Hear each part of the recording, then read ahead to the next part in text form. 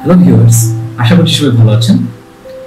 আজকে আমরা আলোচনা করব সিভি সম্পর্কিত আমাদের ইউটিউব ভিডিওর দ্বিতীয় পর্ব নিয়ে। গত পর্বে আমরা বলেছিলাম যে দ্বিতীয় পর্বে আমরা আপনাদেরকে প্র্যাকটিক্যালি তৈরি করে দেখাবো বিভিন্ন ধরনের সিভি ফর্মেট বা স্ট্যান্ডার্ড সিভি ফর্মেট সেই উদ্দেশ্যে আজকে আমরা হাজির হয়েছি দ্বিতীয় পর্ব নিয়ে। আশা করছি আপনারা দ্বিতীয় পর্বের শেষ পর্যন্ত দেখবেন। এবং আমাদের চ্যানেলটি যদি আপনি সাবস্ক্রাইব না করে থাকেন, তাহলে এখনই আমাদের চ্যানেলটা সাবস্ক্রাইব করুন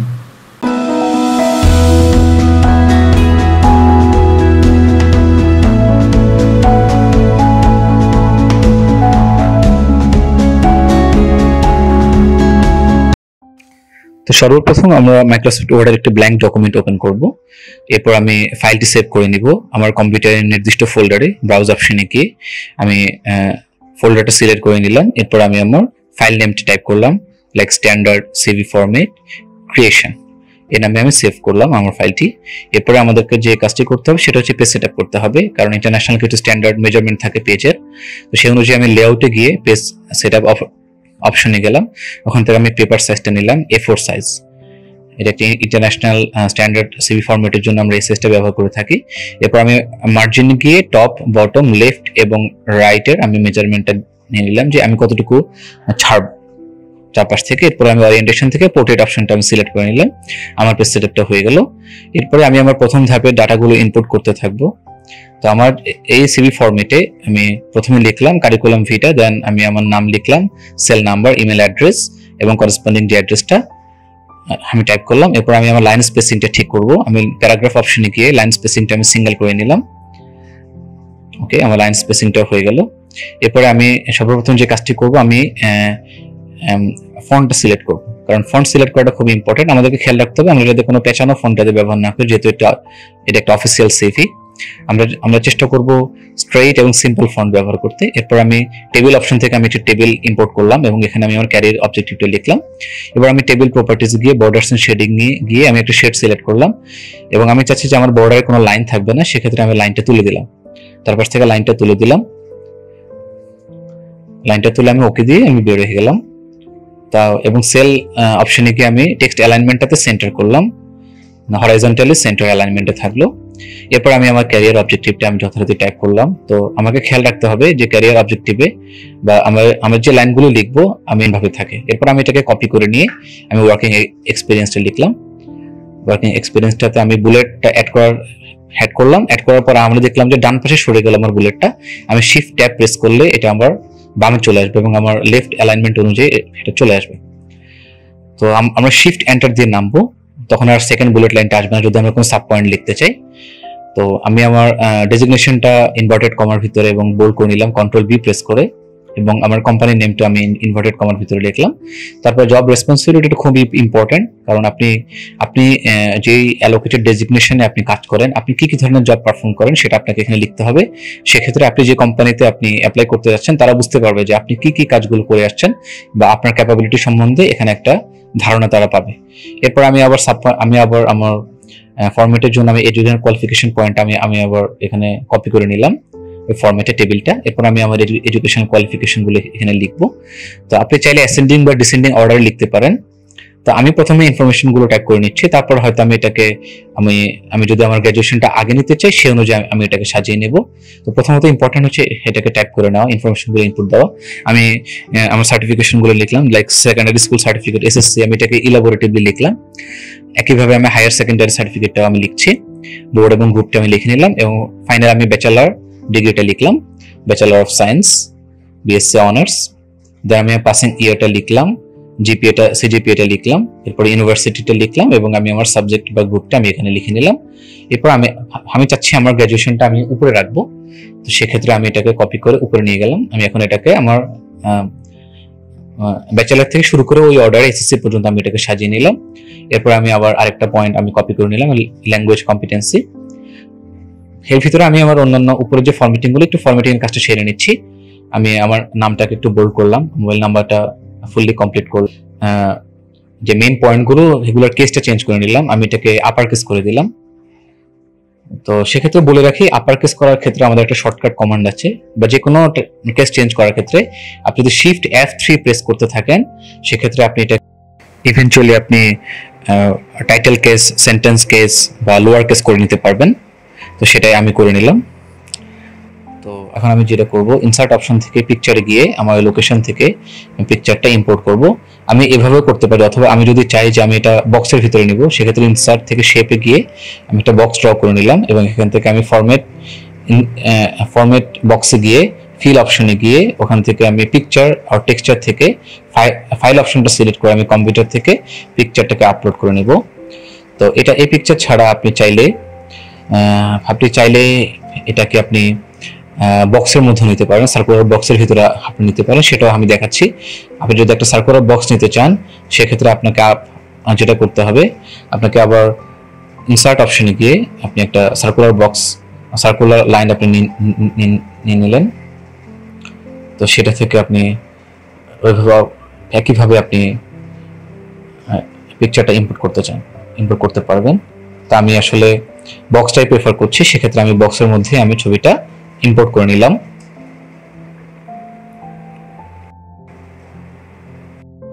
তো আমি আমার কিছু লাইন স্পেসিংগুলো ঠিক করে নিচ্ছি।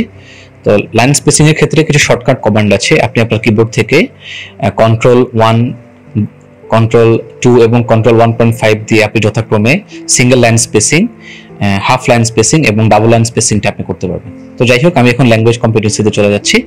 ল্যাঙ্গুয়েজ কম্পিটেন্সিতে আমি আমি চারটা টেবিল ড্রাগ অ্যান্ড ড্রপ করে ইম্পোর্ট করলাম। এখানে আমি আমার ল্যাঙ্গুয়েজ রিডিং রাইটিং এবং লিসেনিং স্কিলটা লিখলাম। তো আমি এখন যথাক্রমে আমার ইংলিশ রিডিং রাইটিং লিসেনিং এবং বেঙ্গলি রিডিং রাইটিং এবং লিসেনিং স্কিলটা আমি দেখলাম। এবার আমি একটু ফর্মেটিংয়ে যাব। আমি এটাকে বোল্ড করলাম সেন্টার ওরিয়েন্টেশন করলাম। টেবিল প্রপার্টিজে গিয়ে আমি আমার টাইটেল বারের আমি একটা কালার সিলেক্ট করে নিলাম। আমি এখান থেকে গ্রে কালারটা সিলেক্ট করে নিলাম এবং আমি টেবিলের বর্ডার শেডিংটা অমিট করে দিলাম। একইভাবে আমি আমার অন্যান্য ঘর, আমি ইন্ডিভিজুয়াল ঘরগুলো, আমি চাইলে আমি আমি আলাদা আলাদাভাবে ইন্ডিভিজুয়াল ঘরগুলো আমি কালার করতে পারি এবং আমি লাইনগুলোকে আমি বাদ দিয়ে বাদ দিয়ে দিতে পারি যদি আমি চাই। আমি লাইনগুলো বাদ দিয়ে দিলাম। টেক্সচার ঘর ছিল ওটা ডিলিট করে দিলাম। এরপর আমি আলাদাভাবে সিঙ্গেল রোর আমি আলাদা আলাদা কালার করছি। দেখতে পাচ্ছেন। এরপর আমি চাচ্ছি এটাকে একটা থ্রি ডাইমেনশনাল লুক দিব। সেক্ষেত্রে আমি চাচ্ছি যে লাইনটা অমিট করে দিয়ে লাইনটার উইথটা আমি যদি বাড়িয়ে দিই এভাবে, সেক্ষেত্রে দেখেন যে একটা একটা থ্রি ডাইমেনশনাল লুক চলে আসলো। এরপর আমি ল্যাঙ্গুয়েজ কম্পিটেন্সিটা আমি আমার আপার কেস করে দিলাম এবং এটাকে বোল্ড করে দিলাম। এরপর আমি আমার, এরপর আমি আমার পার্সোনাল ইনফরমেশনটা টাইপ করলাম। তো পার্সোনাল ইনফরমেশনে আমি প্রথমে ফাদার্স নেমটা লিখলাম। এখানে অনেকে ভুল করে, অনেকে অ্যাপোস্টোপিএসটা দেয় না। আসলে অ্যাপোস্টোপিএসটা যদি আমি না দিই, সেক্ষেত্রে এটা হয়ে যাবে বাবাদের নাম। এবং সেম ওয়ে ক্ষেত্রে হয়ে যাবে মায়েদের নাম। এটা কিন্তু অনেক বড় ধরনের একটা ভুল। আপনি জানেন আসলে সিভিতে এই ধরনের ভুলগুলো কিন্তু আপনার ইমপ্রেশনটাকে অনেক কমিয়ে দিতে পারে। তো সেক্ষেত্রে আমাদেরকে এই বিষয়টাতে অনেক কেয়ারফুল হতে হবে। যে, অত যেহেতু আমি আগে প্রেজেন্ট অ্যাড্রেসটা উপরে দিয়েছি, এখানে আমি আমার জাস্ট পার্মানেন্ট অ্যাড্রেসটা দিয়ে দিলাম ব্লাড গ্রুপটা দিয়ে দিলাম, আমি ফন্ট অপশন থেকে এটাকে সুপারস্ক্রিপ্ট করে নিলাম, একটু উপরে তুলে দিলাম। এরপরে আমি আমার ম্যারিটাল স্ট্যাটাসটা দিলাম। এরপরে আমি আমার লাইক হাইট আমি হাইটটা উল্লেখ করলাম। এরপর ডেট অফ বার্থটা আমি এরপর পরবর্তীতে আমি উল্লেখ করতে পারি। আপনি আপনি চাইলে ন্যাশনালিটিও দিতে পারেন। আর যেহেতু আমরা বাংলাদেশে এটা আমাদের ন্যাশনালিটি বাংলাদেশ এটা আমরা এমনিতেই জানি। যাই হোক, আমি প্যারাগ্রাফ অপশন থেকে আমার লাইন স্পেসিংটা ঠিক করে নিলাম। আপনি চাইলে শর্টকাট কন্ট্রোল ফাইভ দিয়ে আপনি সেটাই করে নিতে পারেন। এরপর আমি আমার হবিসটা লিখলাম। এটা আসলে সবসময় ম্যান্ডেটরি না বাট আপনি চাইলে দিতে পারেন হবিসটা তো তার আমি এখানে আমার আমি এখানে আমার ট্যাব দিয়ে আমি আবার এটাকে পিছনে লেফট অ্যালাইনমেন্ট আমি এটাকে সেট করে দিলাম।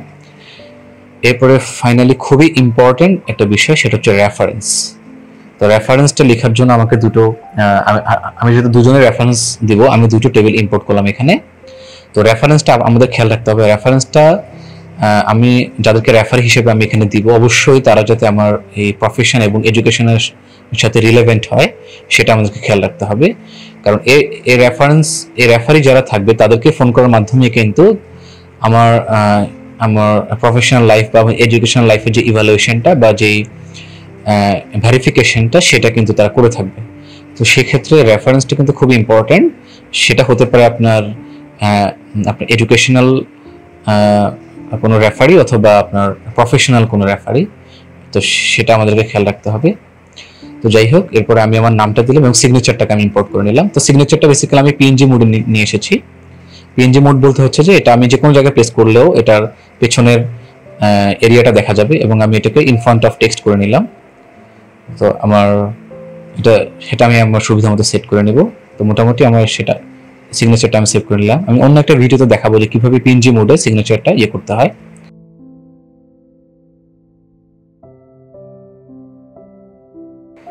তো যাই হোক, এরপরে আমি আমার পেজ নাম্বার এখানে অ্যাড করব।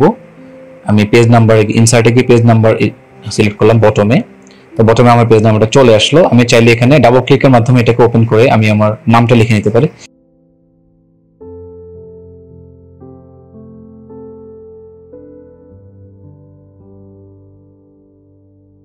তো আমার সিভিটা অলমোস্ট রেডি আমি এখন এটা প্রিন্ট প্রিভিউতে গিয়ে প্রিন্ট প্রিভিউ মোডে দেখলাম। এরপর আমি এটাকে চাইলে পিডিএফ ফর্মে সেভ করে নিতে পারি সেভ এজ অপশনে গিয়ে।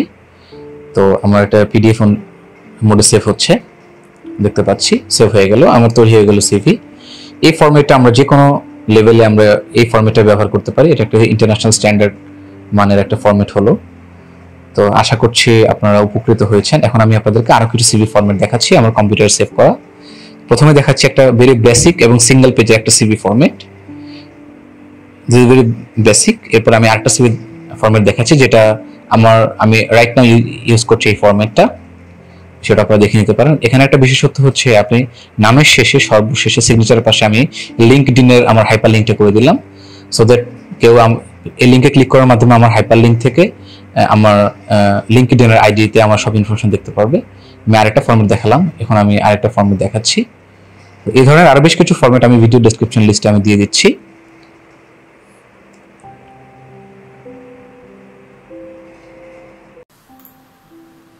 এই ছিল আমাদের আজকের পর্ব। আশা করছি আপনারা পুরো ভিডিওটি দেখেছেন। তো আমি আপনাদেরকে গত পর্বে বলেছিলাম যে আমি আপনাদেরকে বিভিন্ন সিভি ফরম্যাট দেখাবো। তো আসলে সময় স্বল্পতার জন্য সবগুলো দেখানো সম্ভব হয়নি। আপনি যদি আমাদের ভিডিও ডেসক্রিপশন বক্সে দেখেন, এখানে আমি বিভিন্ন ধরনের সিভি ফরম্যাটের ডামি ফরম্যাট আমি এখানে রেখে দিয়েছি। আপনারা ইচ্ছে করলে এখান থেকে ডাউনলোড করে জাস্ট আপনাদের আপনারা আপনাদের ইনফরমেশনগুলো বসিয়ে আপনারা আপনাদের সিভিটি তৈরি করে নিতে পারবেন। তো আরও নিত্য নতুন ভিডিও পেতে আপনারা আমাদের সাথেই থাকবেন এবং আপনাদের যদি কোনো ধরনের স্পেশাল রিকোয়ারমেন্ট থাকে বা স্পেশাল কোনো বিষয়ের উপর যদি আপনারা কোনো ভিডিও দেখতে চান টিউটোরিয়াল দেখতে চান প্লিজ কমেন্ট বক্সে আপনাদের কমেন্ট করুন এবং আমাদের সাথে থাকুন। সবাই ভালো থাকবেন। ধন্যবাদ।